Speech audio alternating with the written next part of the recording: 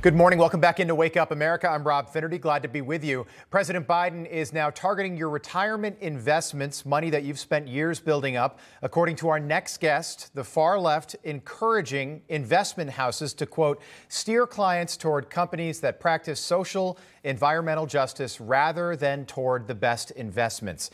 Joining me now for more on something called ESG, Oklahoma Senator and member of the Senate Homeland Security Committee, Senator James Lankford. Great to see you.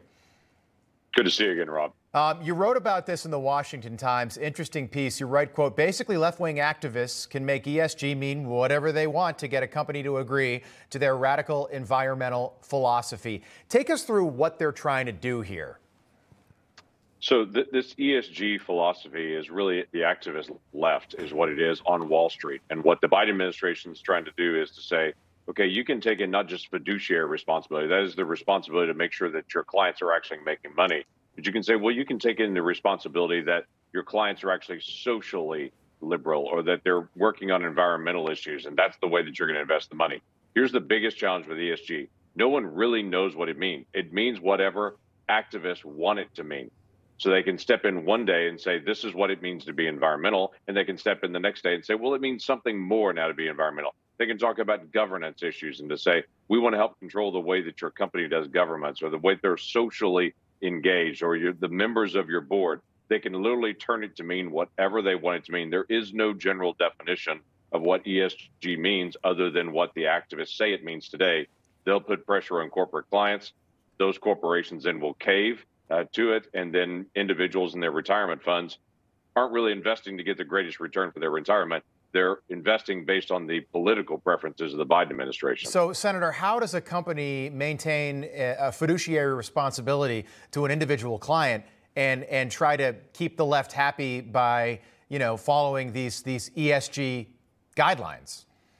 That has been my exact question. I've sat down with leadership at BlackRock and said you have the first responsibility, actually fiduciary responsibility to your clients their comment is, well, there's also people that want to do social justice. My, my statement is that's fine. If individuals want to do social justice in their investing, right. that is their choice. That's how capitalism's at their best. You can invest in whatever you want to. It's driving by the market. But this is not driving by the market.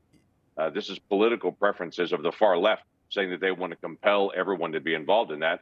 Companies like Vanguard have just recently walked away from ESG investing, saying if we're going to be a fiduciary for the people that are investing for, with us, we've got to actually take care they're getting a good return. Exactly. A lot of these ESG funds have high fees and they're not getting good returns. That's not helpful for Americans' retirement. Yes, yeah, somebody's retirement account, my 401k, for example, shouldn't be a, a stage for, for social justice experiments. Um, the House voted on this yesterday. It was close, 216 to 204. The Senate is going to vote on this today. How do you think it plays out? I think we win it in the Senate just barely, and I think we put it on President Biden's desk, and he has the question then to answer. Is his focus going to be adding more debt to the nation's debt uh, that he is continuing to do and reducing uh, Americans' retirement funds? Or is he going to actually focus in on trying to protect Americans to be able to invest in what they want to invest in and to be able to make that choice, whether it's an ESG right. fund or not? Uh, this is a simple way to say Americans can spend their money as they choose to. They can invest as they choose to but do not mess with people's retirement, which is what the Biden administration is trying to do Absolutely. right now. Absolutely. My goodness. Uh, well, keep us posted. We'll be watching today what happens in the Senate. Um, five weeks ago today, Senator, DirecTV dropped Newsmax from their channel lineup. Ted Cruz, your colleague, was on Newsmax last night talking about this. Take a listen. My objective is for Newsmax to be back on DirecTV. Millions of Texans enjoy watching Newsmax. I enjoy watching Newsmax, and I think viewers ought to have a choice. But don't try to deprive viewers of, of, of the right to be able to, to, to see intelligent commentary and news coverage. Senator, just want to get your reaction to that. Are you are you surprised this has gone on this long, five weeks now? I am surprised it's gone on this long. This is a, a simple contract dispute uh, in it between two companies, and one company is basically saying, "Hey, I, I don't like this voice. I don't like your proposal on it." Well, you know what? Americans can vote with their wallets, just like we were talking about with the ESG before.